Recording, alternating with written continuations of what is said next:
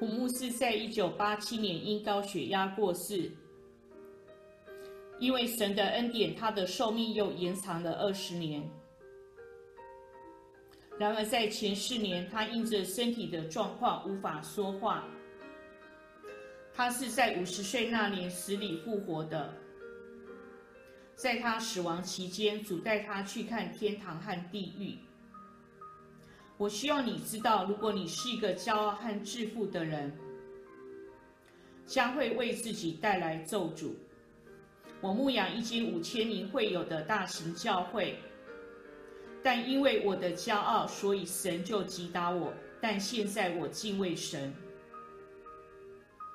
我过去曾拥有价值一点五亿美元的产业和五辆豪华汽车，但在我经历死亡之后，我将他们全都送出去了。请记得，救赎不是靠你的名下拥有多少财产得到的，而是借着信心。现在，我恳求那些身为执事长老和教会中其他的领袖们，你们务要全心全意地服侍你们的牧者。一九八七年十二月十九日，我吃完午餐休息时，觉得剧痛难耐，痛到觉得自己快死了。之后我失去了意识。四个月之后，当我醒过来时，我处于植物人状态。我的身体因瘫痪而严重受损，医生说我还是会死。我的家人从不让会友探病，因为我的样貌吓人。最后我还是死了。就在死的那一刻，我看到两个天使进入我的房间，他们是穿过墙壁进来的。我大叫说：“谁？你们是谁？你们这样进来会弄坏我的房子。”其中一个天使说：“我们是。”天上来的天使，我们来自上帝的国度。天使的四周发出耀眼的光辉。站在我右边的天使自我介绍说：“我奉差是为耶稣的国度服务。耶稣呼召并命令我到世上来，要将你带到天堂。你已经死了，但因为你的家人为你悲痛哭求。”主耶稣愿意再让你多活一些年日，但现在他要向你显明天堂与地狱。他会让你看见天堂与地狱，并对世人做见证。但愿因你的见证，使下地狱的人减少，而进入天堂的人大增。这将是你的使命。神指示我们，叫你不要单拖延。你若拖延，就不能看到天堂与地狱。站在我左边的天使说：“从你出生的那一刻，直到你死亡，我都与你同在。”那时候我并不明白那天使的意思，现在我明白了，他就是我的守护天使。但是我说我不能去，我不愿意去。我是一位牧师，不能在这种身体的状况下去见主。我要在健康的情况下去见他。主会因我这样而责备我，而不是夸奖我。我既骄傲又自大，现在又遭遇疾病咒诅，我怎能进入天堂？我很害怕，请你们回天堂求主医治我。然后回来，在梦中带我去天堂，请为我祈求神的怜悯。但天使并不听我的理由，他们把我的衣服脱掉，并说这些太污秽了，不能穿到天堂。然后为我穿上白袍，他们抓住我的手，我们就直接飞往天堂。我们穿越云层，当我往下观看时，地球变得越来越小。他们让我走进到一条没有尽头的黄金大道，我看见一道闪耀的光，亮到无法直视。我说：“这光是从哪里来的？”天使回答说：“来自天堂。”我心想：“哇，这好庞大的一群人哦！”因为我看见一群人穿着白袍飞在前头。我问他们是谁？天使说他们是那些忠心服侍上帝，并全心顺服圣灵引导、信靠耶稣的人。他们身体在地上已死，他们的灵魂现在正朝天堂而来。另一个天使继续说，在天堂有十二道门。当一个得救的灵魂来到天堂，他们必须由其中一道门进入。我们站在南门前，但门却是关着的。当我们等候时，我问天使说：“天使们，为什么这个门没有打开呢？”天使回答说：“这是因为你还没有唱天堂敬拜的诗歌。”我告诉天使：“过去我是一个傲慢且自大的人，我因此遭到咒诅得疾病。”我连地上的敬拜歌曲都唱不好了，我怎么会唱未曾听过的天堂敬拜的诗歌呢？天使说：“你说的没错，但你还是得预备自己来敬拜。你虽然骄傲，但是还可以预备去唱的。”当天使开始唱诗歌时，我也跟着唱。敬拜对我来说。就变得很自然了。天堂的景象难以形容，我无法以地上的词汇去描述。我就说主啊，太感谢你了！尽管我过去骄傲自大，并遭咒诅而生病，但你仍带我来天堂看看。之后，我听到上帝的声音说：“我所爱的普牧师永固，我欢迎你。”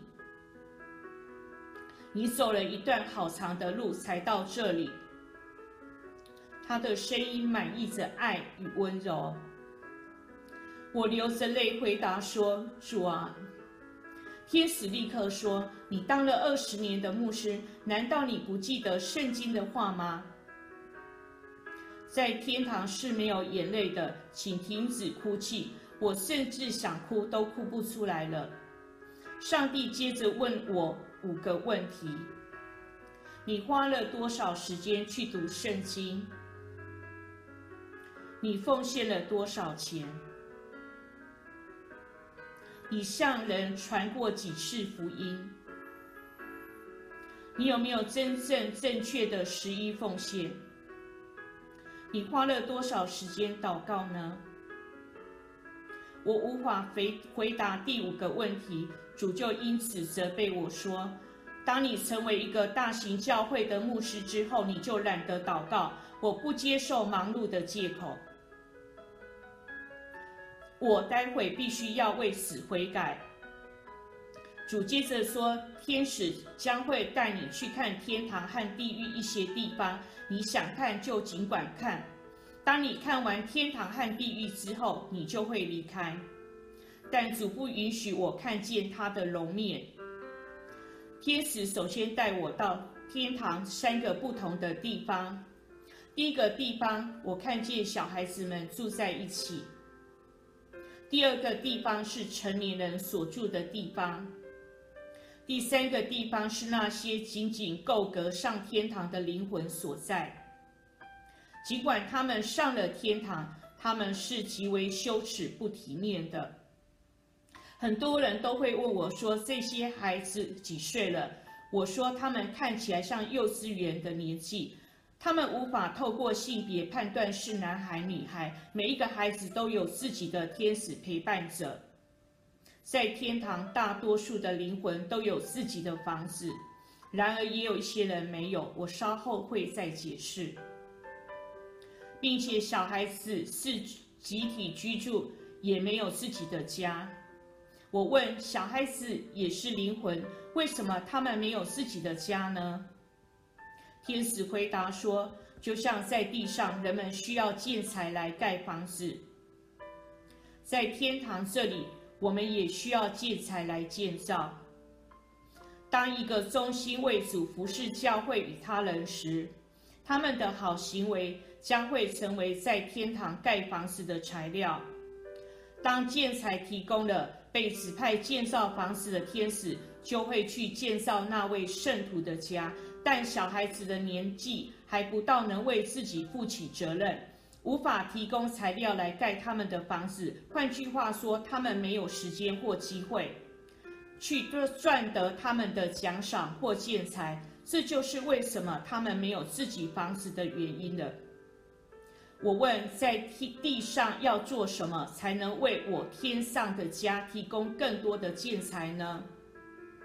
天使说，一个人必须要做七样事才能够提供建材来盖他天上的房子。第一样是要累积对神的敬拜与赞美；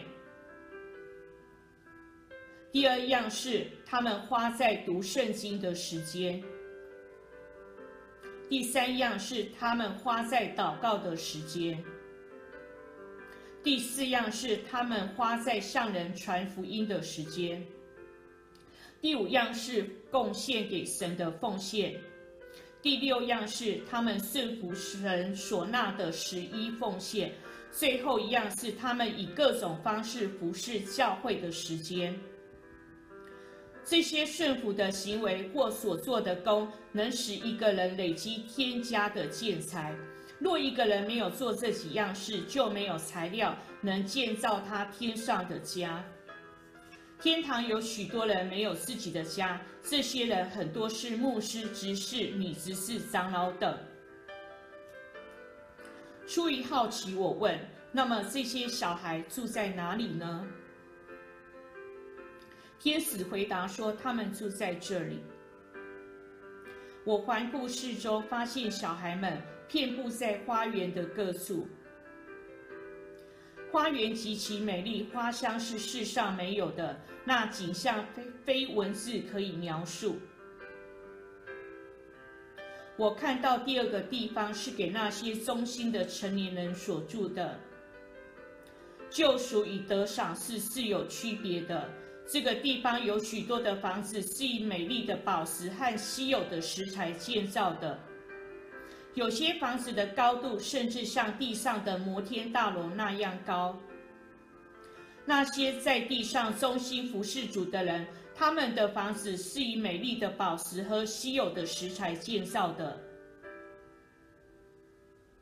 在这个地方，每一个人看起来大都大约只有二三十岁。他们没有性别的差异，也没有生病、衰老和残疾。我曾认识一位名叫欧应苗的长老，他在六十五岁时去世。他的个子很矮，只像小学二年级一样高。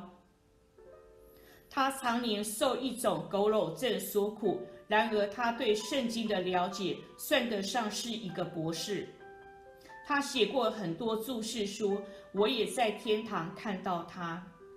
他在天堂又高又帅，他不再有疾病，他很健康。天堂真是个奇妙的地方，我满心期待认识天堂。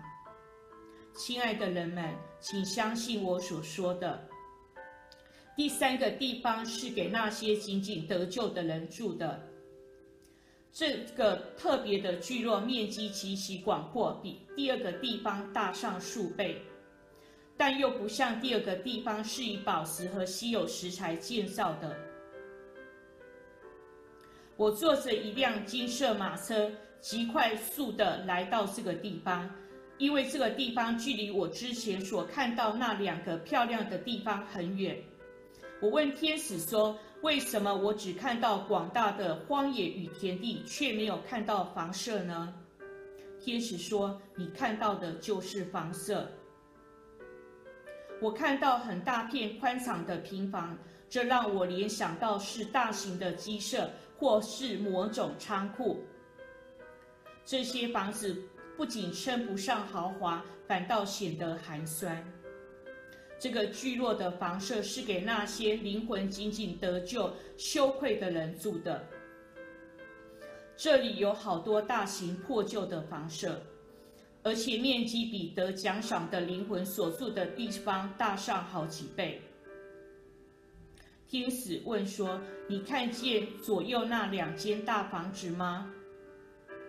我回答说：“是的，我看见了。”天使说：“他要特别向我展示这两间房子。”他说：“在你右边的房子是给那些在地上做牧师的人住的，左边的房子是给那些在地上做长老的人住的。”当我们走到门口时，我发现这两个房子很巨大，我简直目瞪口呆。一开门进去，第一个印象，这就是鸡舍。然而，里面住的不是数以千计的鸡，而是众多的灵魂。天使要我留心观察，因为我可能认出一些历史上非常有名的牧师。果真，我认出许多历史上知名的牧师。我特别指出一位牧师来。我问天使说：“我认得那位韩国牧师，我知道他很有名，也知道他为主做的工。为什么他会在这里？我不明白。”天使回答说：“因为他从来没有提供任何建造天上房子的建材。”所以他只能住在这大社区里。我实在好奇，所以追问：怎么可能呢？他怎么可能没有提供任何建材呢？天使回答说：当他在地上做牧师时，喜欢被人称赞，喜欢被人尊荣，喜欢被人服侍，却没有做仆人与牺牲的心智。这名牧师在韩国有极大的尊荣，并且在韩国基督教史上是一名指标性的人物。然而，他没有奖赏。你们这些做牧师的要留心听，你们服侍人不只是在主日聚会，你们必须到家里探访、看顾穷人、残疾的和老年人。牧师们若没有自我牺牲的服侍，只喜欢被尊荣，在天堂是得不到奖赏的。我在天堂看到这些景象，回到地上之后，我立即将我所有的产业，包括五辆豪华轿车，都捐出去。我们在地上的年日不过是片时。圣经说，人平均的寿命大约是七八十岁。唯有神知道我们命中之日，每一个人都可能活不到七八十岁。我决定把所有的东西都捐出去，甚至是我的衣物。我看见那些仅仅得救的牧师、长老、执事与平信徒，他们住在天堂破旧的房舍里，虽然总比下地狱好。但是，难道有人上天堂的目的是想要住在那样的地方吗？我可不要落入这种羞愧的下场，因为连他们的衣服也都是破旧的。基督徒需要什么条件才能在天堂住那样华美的房子呢？首先，我们要尽力的传福音给更多的人。我们要如何传福音呢？天使告诉我说：“假设有一个未未信者不认识神，在你决定要向他传福音时，你就开始为建造天上的家提供建材了。当你持续为他们的得救祷告时，就会产生更多的建材。你必须持续的祷告、探访他们，继续传福音。”这样就会为你天上的家提供更多的建材。如果有人说他不能去教会，是因为没有体面的衣服穿，你就要为他们预备一些合适的衣服。如果有人说他没有圣经，你就准备一本给他。如果有人说他因为没有眼镜不能读圣经，你就给他眼镜。你必须尽你可能的提供一些一切东西，好把人带到主的面前。那些在天堂住豪宅的人，都是在地上不断传福音的人。之后，天使护送我到圣徒住的豪宅区，就是那些在地上广传福音的圣徒所在的地方。那里就像天堂的市中心。在基督教史上有四个人住在最宽敞、最豪华的房子里。天使给只给我看的是美国布道家穆迪、英国约翰卫斯理牧师、一位意大利布道家以及韩国布道家崔根人的家。这四个人住在天堂最雄伟的豪宅里。他们花尽一生，甚至在去世前都在传福音。在韩国的平信徒当中，有位平信徒也住在天上的豪宅里。这个平信徒请他所有盖了许多教堂，他曾捐了三千袋的白米给穷人。他私下用钱帮助数千名牧师和领袖捐奖学金给神学生或圣经书院学生。他也将一位六十五岁牧师接到家里住。细心照顾他，因为他被自己的教会赶走了。忽然，我听见有一个天使喊着：“建材来了！”我问右边的天使关于这建材的事，他告诉我说：“这建材是一位乡下小教会的女子是预备的。其实她每天都会送些建材上来，因为她虽然贫穷，但每一天一大早参加聚会。”他每天为教会八十七个信徒祷告。当他祷告结束之后，就开始打扫教会。我又听到一另一个天使喊着：“特别快递。”这位女执事的女儿给她微薄的金钱给的妈妈。然而，这位女执事并没有把钱花在自己身上。她为牧师买了五颗蛋和两双袜子。虽然看起来微不足道的奉献。但她已把那一天所有的都奉献出去了。她的行为成为她天上房子特殊的建材。再来，那些在天上拥有豪宅的人，是在地上以自己的财产或资源新建教会或其他建筑为神国之用的人。我在天堂也遇见一位崔姓长老。他的房子在天堂里比其他韩国的长老和执事的房子更华美，而且比韩国最高的摩天大楼还高。他以自己的财富在韩国盖了许多教会。我问天使说：“我的房子呢？是不是也在建造中呢？”天使回答说：“是的。”我请求去看我的房子，但他们说神不允许。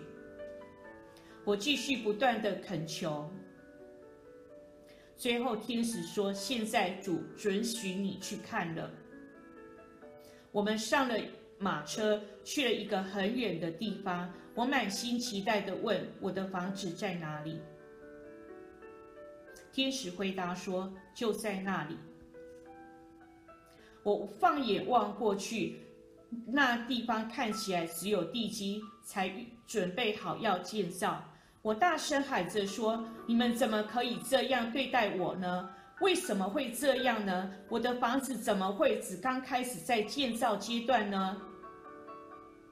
我从韩战幸存后就卖了唯一的房子来盖教会，教会增长到有五千名信徒，圣灵也感动我，因此我写了很多本书，有一本还成了畅销书。”我以书的版税设立基督教学校，孕育了两百四十名牧师。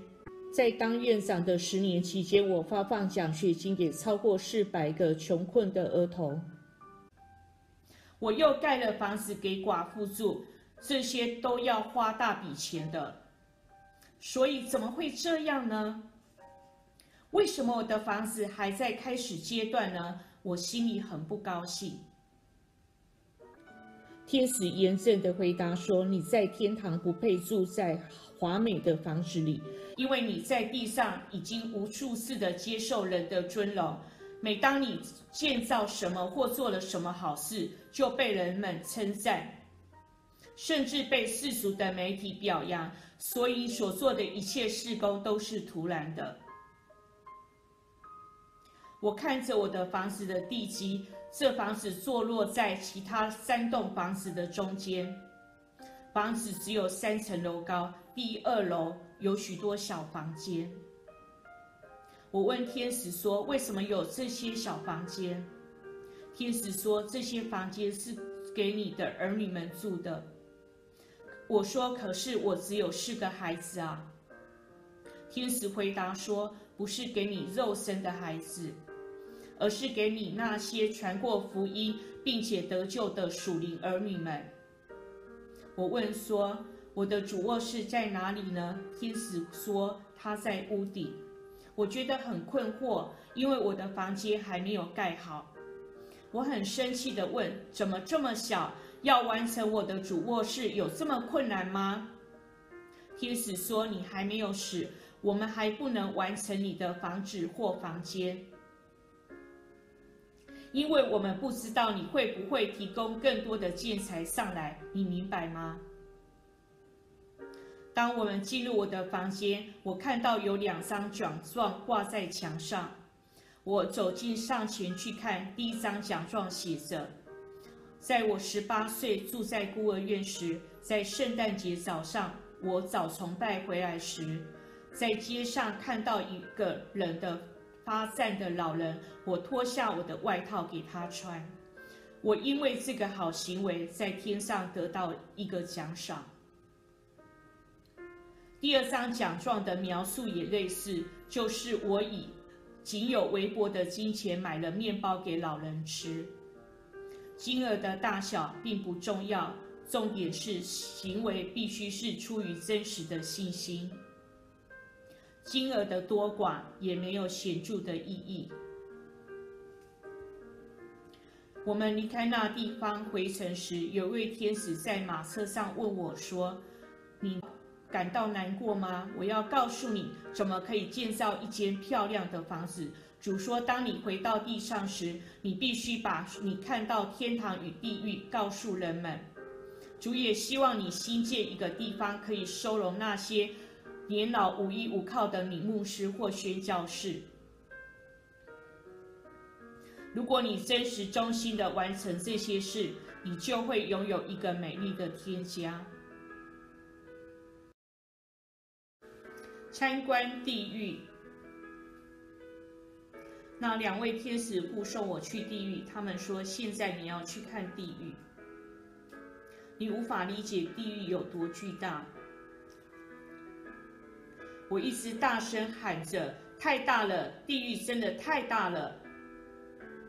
地狱是那些被咒诅和接受永恒的刑罚的人所被安置的地方。”地狱感觉上有地球的一千倍大，地狱一半是红色的，另一半是漆黑的。我问天使，那一半为什么是红色的？天使回答说：“难道你不知道吗？那是烧着的硫磺，另一边是无光的黑暗。犯罪而下地狱的人，他们会在两边受刑罚。”虽然在地上有无数的教会，许多教会坐满了人，然而大多数坐在教会里面的人都不是真基督徒，他们只是上教会而已。真正的教会是坚定的相信有天堂和地狱的。许多的基督徒生命处于一团混乱，是因为他们没有坚定相信有天堂和地狱。每当有一个灵魂上天堂的同时，就有一千个受咒诅的灵魂下地狱。上天堂和下地狱的比例是一比一千。我本身是长老教会的牧师，还是知名的讲员。我从韩国其中一间最大的神学院毕业。我从不相信天堂与地狱的故事，但现在却是我写出天堂与地狱的经历。要向所有人作证。或许你相信自己已经是一位基督徒，但如果你照着魔鬼的旨意过生活，你的结局就是下地狱。我看到第一个地方是烧着硫磺之地，你无法想象地狱的火有多炽热，没有人能忍受那种炽热的。在地狱的人只会说三句话：第一，他们说太热了。他们觉得快热死了。第二是他们快渴死了。第三是你会听到许多人求水喝，而这些是永恒的刑罚。很多人声称说我们在基督里已经得了自由，然后就照随着自己的意思去过生活，这是很愚蠢的。我问天使，在这里的人曾做过什么事呢？天使回答说，第一群人是不相信上帝的人，所以那些不向自己家人传福音的人必须要悔改。天使继续说，第二群人是那些相信耶稣。但没有为自己的罪悔改的人，我们必须为自己的罪悔改，向主坦白认罪。我们不能再犯罪，只是嘴上说说，不叫悔改。我们必须带着真诚痛悔的心悔改。接下来，我在地狱看到许多牧师、长老与执事。我向天使说：“我认识他们，他们在地上时忠心的服侍神。他们也过世一段时间了。我以为他们在天上与神同在，但现在我却看到他们在地狱里哭喊，太热了。他们为什么会在这里呢？我看到有太多的牧师、长老、执事和平信徒都在地狱里。”天使回答说：“不永固牧师，一个人可以在外表上看起来像是跟随基督的人，但是神知道他们的心。他们没有守主日为圣日，事实上，他们喜爱在主日赚钱。许多执事和长老还批评他们的牧师正道信息。他们没有完全遵守十一奉献，他们。”不祷告，没有向人传过福音。这些只是与长老当中很多人骚扰牧师，并且反抗牧师的权柄。他们干预牧师的职任与工作。当他们临终时，还觉得自己做得很好。因此没有这些事悔改，所以他们被丢在地狱的火湖里。之后，我看到韩国最先迫害基督徒的一位皇帝和一位王子，许多韩国基督徒被他们砍头，他们被摆在地狱正中间，是就是最热的地方。我也看到了希特勒、史达林与毛泽东，还有一位北韩知名的康牧师，一名日本有名英雄，还有许多人。随后，我们来到一个极度黑暗的地方，暗到看不到落脚之地。我大叫说：“天使，天使，这里太黑了，我什么都看不到。”天使拍拍我的肩膀说：“稍等一下。”不久之后，我看到无数赤身肉体的人，每一个人身上都爬满了虫子，没有一处得以幸免。他们的身体完全被虫子覆盖。这些赤裸的人咬牙切齿，想要把虫子赶走。我问这些人在地上的时候做了什么呢？天使回答说：他们彼此批评攻击，并且在背后重伤人。他们并不在乎彼此之间说了什么话。我看到魔鬼用镰刀刺穿这些人的肚子，他们的尖叫声令我刺耳。我问随行的天使说：“天使，他这些人活着的时候做了什么事呢？”天使回答说：“这些人在地上有工作、房子和家人，但他们没有奉献给神，没有帮助穷人。”也没有帮助他们的教会，或是在其他神国的用途上有份。